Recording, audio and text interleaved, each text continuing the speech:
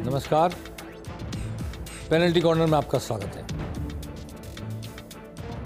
वैसे तो दो दिन पहले दशहरा गया है और 18 दिन बाद दीपावली आनी है। दशहरे से दीपावली के बीच लोग बम पटाखे फोड़ते रहते हैं, चलाते रहते हैं, धमाके होते रहते हैं। आज का दिन धमाके वाला दिन था। सुबह सवेरे ईडी ने रेड की। अशोक गहलोत कई कई बार कहते थे, जहाँ चुनाव होता है ईडी चली आती है। आज ईडी फिर चली आई। इस बार पीसी चीफ गोविंद सिंह डोटासरा के यहाँ। उनके पाँच ठिकानों पर। और हाल ही में जिनको टिकट अनाउंस किया है, निर्दलीय विधायक रहे ओम प्रकाश फुल्डा के सात ठिकानों पर। पर्चा लीक कांड का ज़िक्र था। हकीकत क्या है? ईडी जब मुँह खोलेगी, तब पता लगेगी। पर पूरे दिन मुख्यमंत्री भी और खुद गोविंद डोटासरा भी, जितने भी तमाम लीडर थे कांग्रेस के बड़े बड़े खुद सचिन पायलट भी दिल्ली से बोले। सबने एक सुर में इसका निंदा की और कहा कि ये लोकतंत्र की हत्या है। बीजेपी के लोगों ने कहा कि इतनी बार पेपर लीक हुआ, युवाओं के साथ अन्याय हुआ। अगर एसीबी ठीक ढंग से जाँच करती ईडी क्यों आती? जाँच करके अपराधियों की तय तक पहुँचना ईडी का काम है। ईडी की टाइमिंग है, जब चुनाव की डेट अनाउंस हो गई, चुनाव के टिकट अनाउंस होने लगे उस दौरान। और दो ऐसे लोगों के यहाँ ईडी का छापा, जिन्हें टिकट कांग्रेस ने अनाउंस कर दिया, एक पीसी चीफ है और एक निर्दलीय विधायक ओम प्रकाश हुड्डा, जो कांग्रेस की टिकट चुनाव लड़ेगी। चलते हैं, लेकिन बात करते हैं सबसे लेटेस्ट बात है, आज कांग्रेस की तीसरी सूची जारी हुई। उन्नीस नाम है इस तीसरी सूची में, और अब तक 95 कुल नाम आ गए हैं सामने। 95 में 77 ऐसे लोग हैं जो विधायक हैं, चाहे कांग्रेस की टिकट पर चुने गए, चाहे बसपा की टिकट चुने गए, चाहे निर्दलीय चुने गए, और सरकार बचाने में जिन्होंने योगदान दिया, ऐसे 77 विधायकों को टिकट मिल गया। जो सरकार बचाने में योगदान नहीं दे रहे थे और चले गए थे माने सर, उनको भी टिकट मिल गया। आज भी एक टिकट ऐसा है, गजराज खटाना का, जो उल्लेखनीय है कि जो प्रमुख व्यक्ति थे,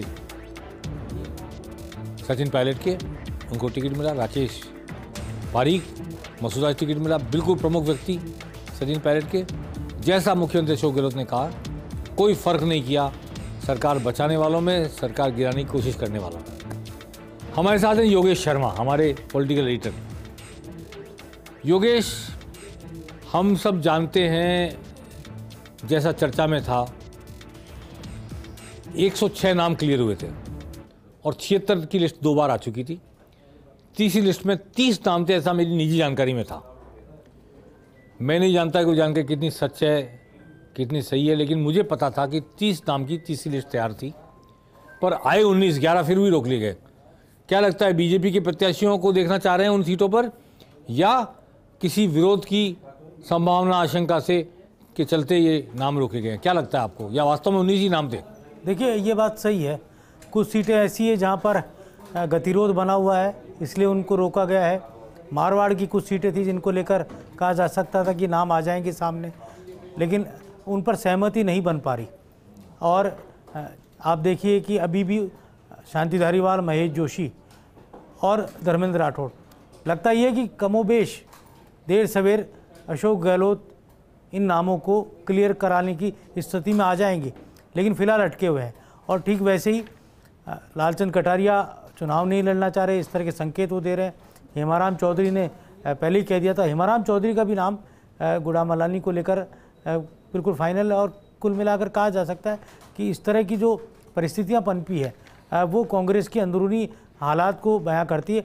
लेकिन फिर भी ये तय है कि पर्दे के पीछे सचिन पायलट की अपनी कोशिशें रंग लाती हुई नज़र आई हैं कि उन्होंने अपने जो विधायकों को वादा किया था, वो एक एक करके उनको टिकट दिलाते हुए नज़र आ रहे हैं। हालाँकि चाकसू का नाम अभी भी नहीं है, टोड़ा भीम का नाम अभी भी नहीं है। फिर भी ये माना जा सकता है कि वो एक वो बड़ी बाजी जीत गए, जिसकी उम्मीद वो अशोक गहलोत से चाह रहे थे और अशोक गहलोत ने पर्दे के पीछे उनकी मदद कर दी। देखिए, वादा तो इन्होंने भी निभाया, उन्होंने भी निभाया।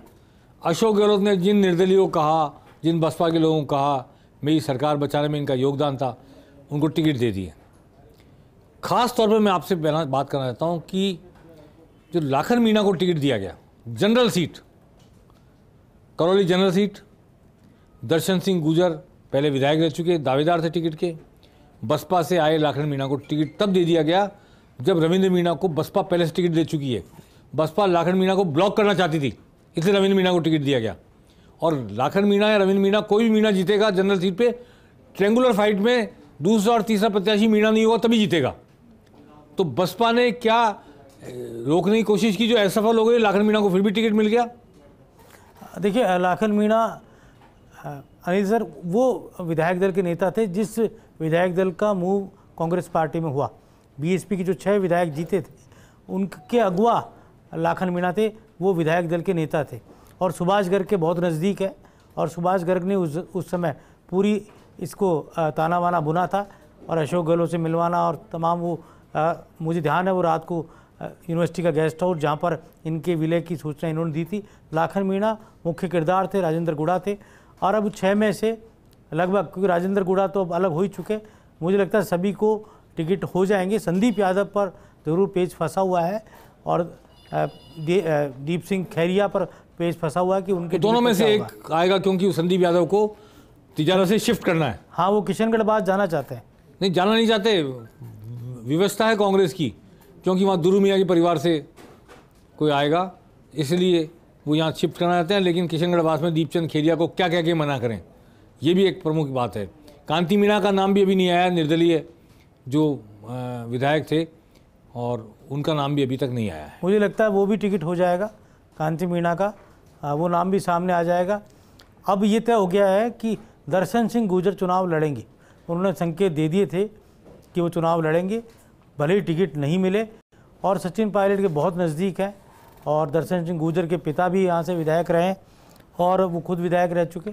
तो उनकी घोषणा तय लाखन सिंह मीणा को विरोध के बावजूद टिकट मिला है। वाजिब अली को भी विरोध के बावजूद टिकट मिला है।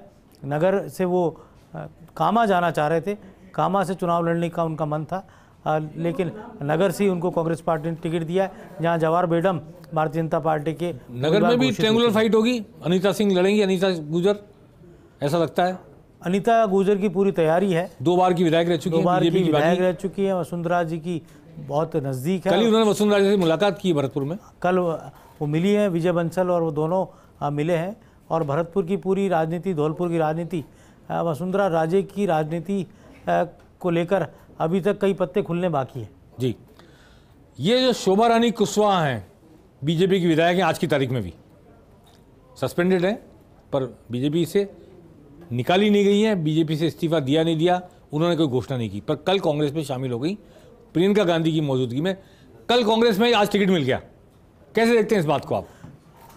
सबसे बड़ी बात यह है कि शोभा रानी से कांग्रेस एक तीर से कई निशाने साध रही है। शोभा रानी कुशवा माली समाज से ताल्लुक़ रखती है और आपको ध्यान होगा जब वसुंधरा राजे की सरकार थी और धौलपुर का बाई इलेक्शन हुआ था, उस समय बीजेपी ने शोभा रानी को टिकट दिया था। शोभा रानी के पति जो बीएसपी के विधायक थे, उनको जेल हो गई थी और मर्डर के अंदर वो जेल चले गए थे। और उस समय शोभा रानी को टिकट दिया। शोभा रानी वो बाई इलेक्शन जीत गई थी और उनके सामने कांग्रेस पार्टी ने अशोक शर्मा को चुनाव लड़ाया था। वो हार गए थे चुनाव और शोभा रानी चुनाव जीत गई थी। शोभा रानी से कांग्रेस को बसेड़ी में लाभ होता है, बाड़ी में लाभ होता है, राजाखेड़ा में लाभ होता है। धौलपुर की इन सभी सीटों पर माली समाज कुशवा समाज कुशवा काफ़ी हैं। बड़ी तादाद के अंदर है। अब मुझे लगता है कि अब बीजेपी यहाँ पर अब हो सकता है ब्राह्मण कार्ड खेले। मनोहर लाल शर्मा के परिवार से कोई टिकट यहाँ सामने आ सकता है। हालाँकि राजा खेड़ा से भी उस परिवार की दावेदारी है। अशोक शर्मा की पत्नी को टिकट दिया जा सकता है। ये जो साड़ा में हुआ भीलवाड़ा ज़िले में कि भाभी का टिकट काट के देवर को दे दिया। यानी कि जो विधायक कैलाश त्रिवेदी थे, उनका दिवंगत विधायक निधन हो गया था, उनकी पत्नी को बाई इलेक्शन में तो खड़ा कर दिया एक सहानुभूति लहर, जीत गई कांग्रेस बाई इलेक्शन पर अब उन्होंने छोटे भाई को टिकट दिया, देवर को टिकट दिया है, जो कि उस वक्त भी उपचुनाव के वक्त भी दावेदार थे। शायद मैंने ऐसा सुना है कि उस वक्त उनको वादा किया गया था कि उपचुनाव में भाभी को लड़ने दो, देवर जी का नंबर मुख्य चुनाव में आ जाएगा। वो वादा निभाने के लिए ऐसा किया गया। ऐसा भी है और काफ़ी बातें चल रही थी। गायत्री देवी के बेटे का नाम भी चर्चाओं में था और खुद मुख्यमंत्री कैंप भी ये चाहता था कि गायत्री देवी को रिपीट किया जाए। लेकिन डॉक्टर सीपी जोशी, मोहन प्रकाश बड़े नेता हैं, कांग्रेस पार्टी के सीपी जोशी स्क्रीनिंग कमेटी के सदस्य हैं। और आपको ध्यान होगा, राजेंद्र पारिक का टिकट उस बाई इलेक्शन के वक्त भी बहुत गंभीर था और इस बात को लेकर परिवार के अंदर कलह की स्थितियाँ पनप गई थी और एक बार तो ऐसा हो गया था कि भाभी के खिलाफ देवर ने निर्दलीय ताल ठोकने की भी तैयारी कर ली थी लेकिन ऐसा हुआ नहीं। लेकिन मुकाबला बहुत दिलचस्प हुआ है लालूलाल पीतलिया को बीजेपी ने बीजेपी से आगे लालूलाल पीतलिया वैश्य वर्ग से हैं तो जाट एक खड़ा होगा मेरे को लगता है रतनलाल जाट के परिवार से। मेरे को आपसे सवाल करना है कि क्या अब आरएलपी यहाँ जाट को उतारेगी? बिल्कुल उतारेगी निश्चित रूप से। एक जाट वो हैं जो लगातार बीजेपी से टिकट मांगते रहे हैं और एक रतनलाल जाट जो एमएलए रहे हैं और उनके भाई भी एमएलए रहे हैं मंत्री रहे हैं रतनलाल जाट। रतनलाल जी की डेथ हो गई।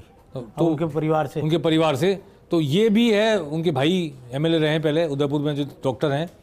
और दूसरे एक जाट और रूपलाल जाट शायद नाम है उनका मेरे ख्याल से। वो भी आरएलपी से खड़े हो सकते हैं और ये ट्रेंगुलर फाइट यहाँ हो सकती है। और एक अपडेट और कर दें आप इजाज़त दें तो कि आरएलपी और चंद्रशेखर आज़ाद की आज़ाद समाज पार्टी। दोनों का थोड़ी देर बाद विलय होने वाला है और एक प्रेस कॉन्फ्रेंस अभी बुला ली गई है और फ़र्स्ट इंडिया ने कल ही संकेत दे दिए थे कि आरएलपी और भीम आर्मी एक साथ राजस्थान में चुनाव इस समर में उतरेंगे। तो इसको लेकर भी आपकी मैं टिप्पणी चाहता हूँ किस तरह से देखते हैं?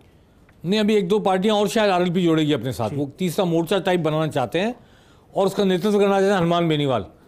ये इनका कहना ये है कि सत्ता की चाबी हमारे पास होगी। हालाँकि चाबी चुनाव चिन्ह ऐसी पार्टी का है जिसका इनसे छत्तीस का आंकड़ा है इस वक्त तो। एएसपी का जो आज़ाद समाज पार्टी का चुनाव चिन्ह केतली है। केतली और चाबी चुनाव चिन्ह है जेजेपी का जननायक जनता पार्टी दुष्यंत चौटाला की पार्टी का। तो वो भी राजस्थान में आए हैं वो भी जाट समाज के किसान समाज के वोट लेना चाहते हैं। खुद हनुमान बेनीवाल उसी समाज से हैं और काफ़ी उन्होंने काम किया मेहनत की है। और अब आज़ाद समाज पार्टी से वो ये चाहते हैं कि युति बन जाए। जाट किसान वर्ग के दूसरे लोग और बसपा को वोट देने वाले जो दलित थे वो आज़ाद समाज पार्टी की वजह से जुड़ जाए। तो दलित और एक खास बात और है कि चंद्रशेखर आज़ाद चंद्रशेखर आज़ाद मेघवाल समाज से ताल्लुक़ रखते हैं। मायावती जाटव वर्ग से आती है और चंद्रशेखर आज़ाद मेघवाल समाज से ताल्लुक रखते हैं जो समाज राजस्थान में बड़ी तादाद में अलग अलग जिलों के अंदर फैला हुआ है। चलिए नरेश शर्मा हमारे साथ जुड़े हैं दो बात उनसे भी कर लेते हैं। नरेश नरेश आप भी जो। सुन पा रहे हैं जी जी बिल्कुल। पिचासी नाम आए इनमें सतहत्तर तो विधायक ही हैं। तो फिर काहे को सह प्रभारी भेजे गए? काहे को लोकसभा प्रभारी भेजे गए? काहे को सर्वे पे सर्वे कराए गए? इसकी राय उसकी राय इसकी चर्चा उसकी चर्चा। इस सब का मतलब क्या अगर पिचासी में सत्तर को टिकट मिलना था तो? बिल्कुल देखिए मैंने कुछ देर पहले भी ये बात कही थी। एक बार फिर रिपीट करता हूँ कि हम क्रिकेट देखते हैं और क्रिकेट की तीन पारियाँ और राजनीति की तीन पारियाँ या सूची की तीन पारियाँ।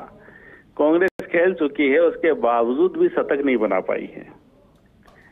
अभी तक तीन सूचियाँ जारी करने के बावजूद भी आधा सफ़र भी कांग्रेस तय नहीं कर पाई है।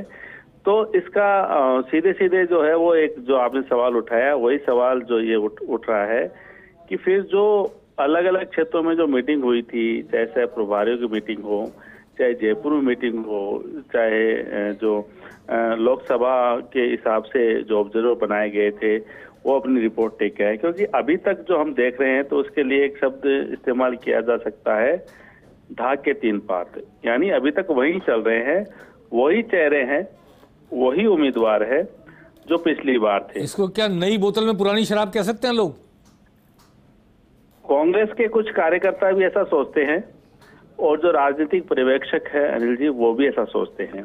क्योंकि सबको इंतज़ार था कि क्या कुछ नया चेहरा मिलेगा, लेकिन जो नया चेहरा दिया जा रहा है, वो भी उसी पार्टी से, उसी परिवार से दिया जा रहा है। चाहे सफिया जुबेर का टिकट काटा, महिला जो है विधायक सीटिंग उनका टिकट काटा। त्रिवेदी का टिकट काटा, महिला सीटिंग विधायक टिकट काटा, उनके परिवार से टिकट दिया गया है। महिला आरक्षण की बात लगातार हो रही है भाजपा की केंद्र सरकार जो है वो ये जो बिल पास किया कांग्रेस ने समर्थन किया लेकिन अब तक जो सिटिंग एमएलए के टिकट काटे गए हैं वो दोनों ही महिला विधायकों के टिकट काटे गए हैं।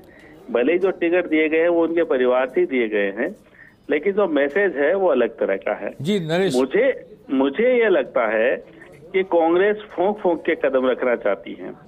कांग्रेस चाहती है कि कहीं विरोध तो ना हो। विरोध से शायद ज़्यादा डर रही है इन लिस्ट से ये कुछ आभास हो रहा है कि विरोध से कुछ ज़्यादा डर रही है। और शायद ये मानना है मुख्यमंत्री का भी कि अगर उनकी योजनाओं के आधार पे ही वोट मिलना है उनकी घोषणाओं के आधार पे ही वोट मिलना है फिर चेहरा चाहे पुराना हो चाहे नया हो। नरेश तो एक मिनट एक मिनट आपको रोकना चाहता हूँ। समय हमारे पास सीमित है। मैं आपसे भी और योगेश से भी दोनों से ये बात कहना चाहता हूँ कि बीजेपी ने भी ऐसा ही किया है। अधिकांश वही 20 साल से चुनाव लड़ रहे, जीत रहे 15 साल चुनाव लड़ रहे, जीत रहे, वही वासुदेव देवनानी, वही अनिता बघेल, जगह जगह से वही आ रहे हैं। मुझे ऐसा लगता है कि बीजेपी को ये इल्म है कि मोदी के नाम पर वोट पड़ने वाला है, छप्पन इंच के सीने के नाम पर। इसलिए किसी को भी खड़ा कर दो। पर जब ऐसा करने की कोशिश की, बगावत हुई तो आला कमान ने वर्तमान विधायकों की तरफ़ रुख किया और अपनी एक रीजनल नेता के समर्थकों को, जिनको इग्नोर किया जाता था, उनको तरजीह दी। ऐसा ही कांग्रेस में जब अशोक गहलोत को लग रहा है या पार्टी को लग रहा है कि सरकार की योजनाओं पर ही वोट पड़ने हैं तो फिर जो पाँच साल जो संपन्न हो गए, लड़ लिए, उन्होंने सारी व्यू रचना कर ली, नेटवर्क बना हुआ जिनका, उन्हीं को दे दिया जाए। तो रिस्क दोनों पार्टी उठाना नहीं चाह रही है, मुझे ऐसा लगता है, और दोनों पार्टियाँ बगावत से डरी हुई हैं, इसलिए नए लोगों पर उनका ध्यान नहीं जा रहा, अब तक की सूचियों से ऐसा लगता है। पर हम उम्मीद करते हैं कि पिचानवे के बाद अब जो कांग्रेस की सूची आएगी, एक सीट छोड़ दें, शायद सुभाष गर्ग के लिए छोड़ी जा रही है, मुख्यमंत्री ने संकेत किया तो अब उन 104 नामों में काफ़ी नए नाम आने चाहिए, क्योंकि उनमें से कई हारी हुई सीटें होंगी। और बीजेपी की जो सीटें बची है, छिहत्तर, उनमें से कई जीती हुई सीटें होंगी, जिन पे बीजेपी कॉन्फिडेंट होगी तो क्या वहाँ वह नए आदमियों को उतारने की जोखिम लेगी। सबसे आखिर में, सबसे महत्वपूर्ण बात मैं कहना चाहता हूँ कि आज की इस सूची का सबसे बड़ा हाईलाइट ये है कि राजेंद्र राठौड़ के सामने तारानगर में नरेंद्र बुढ़ालिया पूर्व सांसद को उतार दिया गया है। अगर राजेंद्र राठौड़ चूरू से चुनाव लड़ते तो भी नरेंद्र बुढ़ालिया को उतारती कांग्रेस, ऐसी मेरी व्यक्तिगत जानकारी है। तो तारानगर शिफ्ट हुए वो, नरेंद्र बुढ़ालिया को तारानगर शिफ्ट कर दिया गया। ये चुनाव बहुत महत्वपूर्ण, बहुत कड़े संघर्ष वाला होने वाला है। क्यों? आप भी मेरी बात से सहमत होंगे। राजेंद्र राठौड़ विधायक रह चुके हैं तारानगर से पहले जी। तो बहुत कड़ा संघर्ष हमें यहाँ देखने को मिलेगा। पेनल्टी कॉर्नर में आज बस इतना ही। हम बातचीत जारी रखेंगे। लक्ष्मण राघव हमसे जुड़े हुए हैं। लक्ष्मण क्या सुन पा रहे हैं आप? जी बिल्कुल। आपकी क्या राय है? ये दूसरी सूची आई है इसके तीसरी सूची के बारे में। देखिए जो आप बात बिल्कुल वैसा ही कहीं ना कहीं प्रसिद्ध के साथ है। और आज की सूची का अगर हम जिससे करें तो 12 सीट तो कांग्रेस ने साफ़ तौर पर बताता है कि अंतोगत्वा मुख्यमंत्री जो चाह रहे थे, वो लोग इसमें वो नाम भी चाहे वो बसपा से पहले थे, बाद में कांग्रेस हो गए वाजिब अली तमाम लोग हो रहे हैं इसमें साथ दिया। एक बात और है लगता है, देवदर की जो है, उस पर यदि हम बात करें नीरज डांगी को लेकर, आपको याद होगा एक बड़ी खबर छपी मुख्यमंत्री ने डांटा था कुछ लोगों को तो उसमें नीरज डांगी तो रेवदर में जो है नीरज डांगी का दबाव को दरकिनार कहीं किया गया है वहाँ पर नए को टिकट दिया गया। सहाड़ा नए नाम को मिले। दूसरी जो आपने बात कही नरेंद्र राजेंद्र राठौड़ का सबसे हॉट सीट एक तरह से भाग में ये बच गई पर नज़र होगी। और इसके कई फैक्टर है गोविंद डोटासरा राजेंद्र राठौड़ जो रहा था मुझे लगता है ये फैक्टर बात करेगा। चुनाव केवल राठौड़ कहीं एक जातिगत देगा। चलिए, लक्ष्मण, लिस्टें आती रहेंगी, हम चर्चा करते रहेंगे। फ़िलहाल अब तक की तस्वीर साफ़ है। दोनों पार्टियाँ बगावत से डरी हुई हैं। एस्टेब्लिश चेहरों को हटाने से, पुराने चेहरों को हटाने से गुरेज कर रही हैं। और जिस रीजनल नेता को लेकर माना जा रहा था कि आला कमान सबके सब बदल डालेगा सारे घर के, वो आला कमान भी नहीं बदल पा रहा। और यहाँ जो अशोक गहलोत का वर्चस्व है कांग्रेस में, वो भी कायम है। हालाँकि उन्होंने बहुत रणनीतिपूर्वक सचिन पायलट से जो बाहर चर्चा होती थी कि पायलट कितने दिन साथ रहेंगे, कितने मन से साथ रहेंगे, सारी आशंकाएँ निर्मूल करते हुए उन्होंने पायलट के लोगों को भी गले से लगाया। पायलट ने भी गहलोत के साथ कदम से कदम मिलाने की शपथ ली है। ऐसा लगता है कि कांग्रेस यूनाइटेड हाउस होकर चुनाव लड़ेगी और बीजेपी भी जो वसुंधरा राजे को लेकर चर्चा चल रही थी पहले कि वो डिवाइडेड हाउस में चुनाव लड़ेगी, अब शायद धीरे धीरे आला कमान वहाँ भी रिपेयर कर रहा है और वहाँ भी मेरे ख्याल से डैमेज कंट्रोल किया जा रहा है। आने वाले वक्त में पेनल्टी कॉर्नर में हम इसी सब संग्राम की चर्चा करते रहेंगे। नमस्कार।